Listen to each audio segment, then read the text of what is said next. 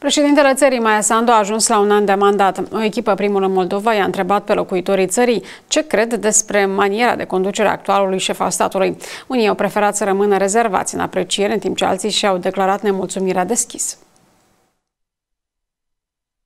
Președintele Maia Sandu s-a lansat în campania pentru prezidențiale cu promisiunea vremurilor bune pentru Republica Moldova. Atunci actualul șef al statului a declarat că are mandatul oamenilor să spună că țara are nevoie de o altă manieră de conducere pentru a aduce în casele alegătorilor bunăstare și o viață mai bună. Avem nevoie de un președinte care știe cum și vrea să pună Moldova pe calea cea dreaptă. Nu de unul care să ne țină în mocirlă. Avem nevoie de un președinte care să ne redea speranța în ziua de mâine. Un stat prost condus este o boală. Dar noi, cu dumneavoastră, avem medicamentul. Acesta este votul nostru. La un an distanță, mesajul alegătorilor este mai mult de nemulțumire decât de apreciere. Очень плохо. Очень плохо, потому что много обещано в предвыборной кампании, но сделано очень мало, если, если можно сказать, сделано. Больше ничего хорошего не могу сказать.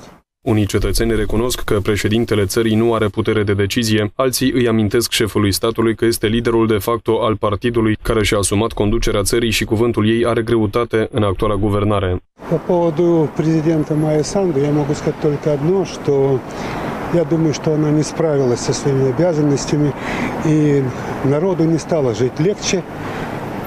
Предвыборная ее кампания была хорошая, обещаний было много, а сейчас, к сожалению, мы видим, что улучшения нет никакого. Особенно, что касается пенсионеров, вот с газом проблема. Пока мест никак, особенно с ценами, с газом вообще никак.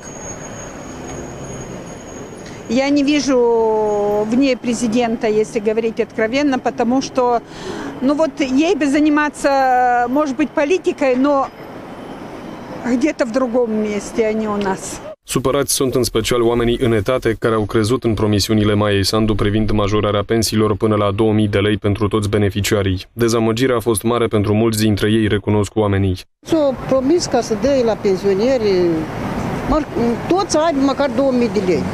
Așa s-a spus.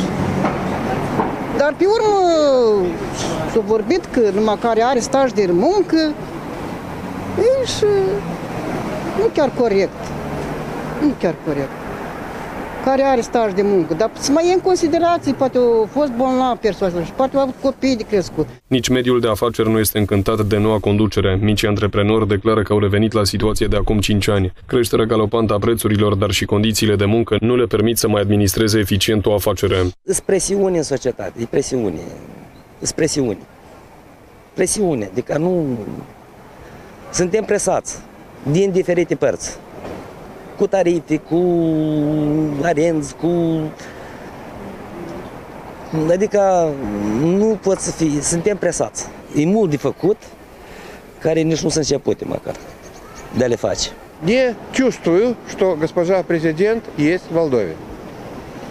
То есть она есть, может быть, где-то там наверху что-то делается, но для простых жителей страны есть президент, нет президента, не видно. Ну, я не знаю, если она будет делать то, что как-то вот повернется к людям э, лицом. Изменений, наверное, ждем, но, скорее всего, что не от нее. Не она это сделает. Maia Sandu a câștigat alegerile prezidențiale în al doilea tur de scrutin, care s-a desfășurat pe 15 noiembrie 2021. Pentru liderul PAS au votat aproape 58% din alegătorii prezenți la urne.